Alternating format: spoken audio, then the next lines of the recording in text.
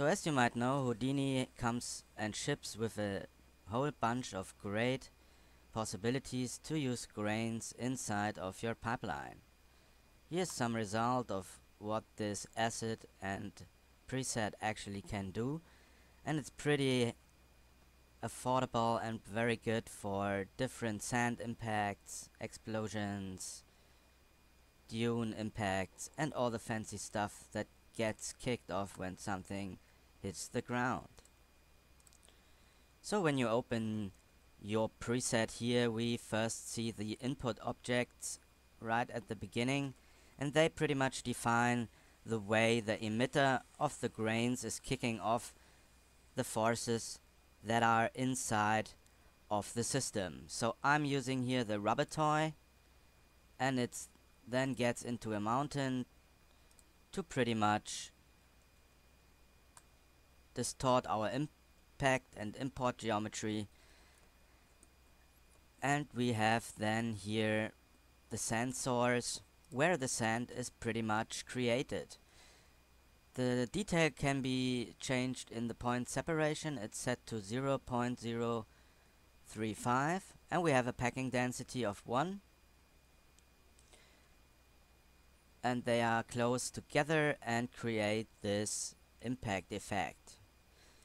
So you can then later on change the noise for the normals. You click here on the display normals and you see how they are sticking outwards and pretty much define the speed and velocity of our grain impact. So you can change the, the frequency here, the amplitude, whatever you need for making your element interesting. We then have here the force ramp with some vex code. And you also can specify if you want to have the sand more of a wet look, like when it's when it's uh, got rained or is on a beach or something like that. And you then cache your source down on on your hard drive and can then later on jump right in into the sand sim. So here in the sand sim you can pretty much create the look of your sand explosion. For example, we can use here the pop attract where we have the force scale of this sand system in a particle pop environment. And here you can pretty much see how our source is pushing the debris and all the sand elements far away from the sender. And this gives you a lot of control about the detail and explosion design you can use with this great asset here. So it's kicking right high around and imagine a rocket or a bullet is hitting the a street, uh, uh, a beach and kicking off the sand here. Pretty amazing stuff. What you can do with Houdini and this awesome asset. You always, you also see the clumps here, those sticking together constraints of the grain elements and this was is the result of the wet sand attribute.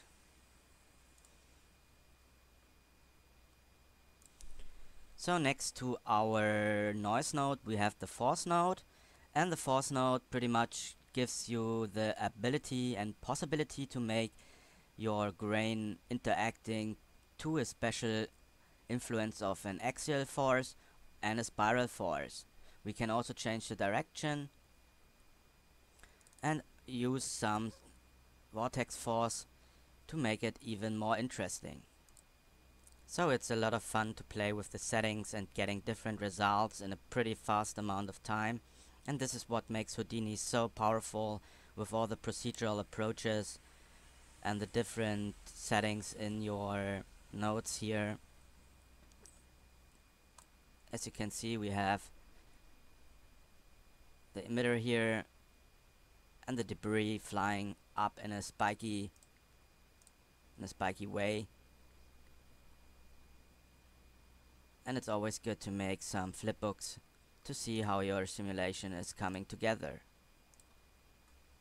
So here's the result of what this setup has done so far. Pretty cool element when it comes to sand impacts.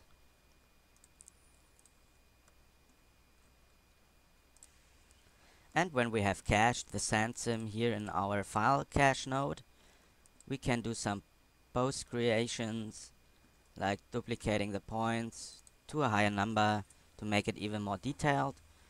We then compute the velocity, doing some cleaning and caching everything in the post sand sim. Always remember that the caches of Houdini are written out in BGeO or bgeo.sc or in sim files and they can become pretty large so always make sure you have a great amount of hard disk available. So we here have a volume VOP that is creating a velocity field for us and this velocity field then goes into our smoke source because we want to also add smoke to our simulation. So we set our geometry output path. As you can see it's bgeo.sc, the simulation file format of Houdini and I click the load button and save to disk and this way we will see the result right after the caching. So in the meantime, while this is caching, I want to show you some examples of some rendered elements from the sand asset here. It's available on the website here, digitalalchemist.com, product sand minus 2. And we can also watch some featured videos here, where we can see the results you can pretty much get with this great preset. So we have small impacts and we have pretty cool blasts and it's also very cool to create elements for um, blue screen productions where you need to do some composition of the element inside your movie or project or even game.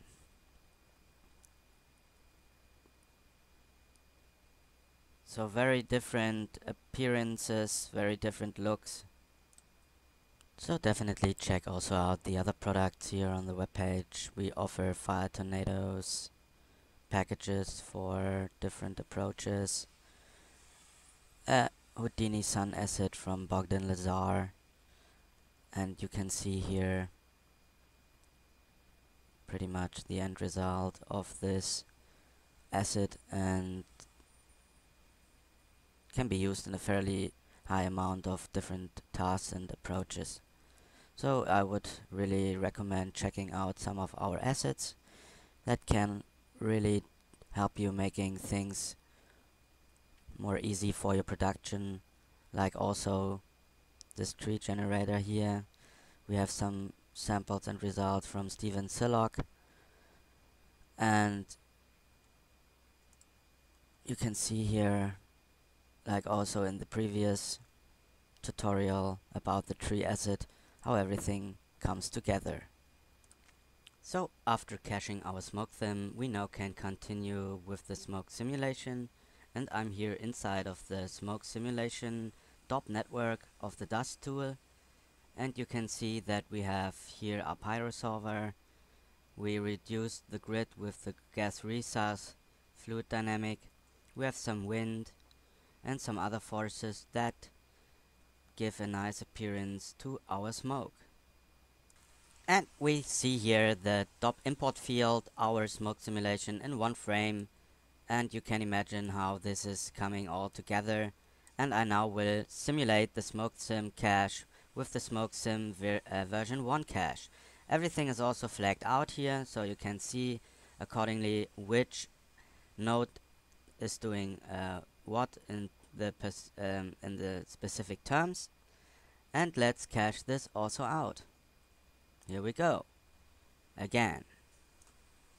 So the smoke is done caching and we will see the end result pretty soon and always keep in mind that this is just one of infinite possible end results you can create with this great asset.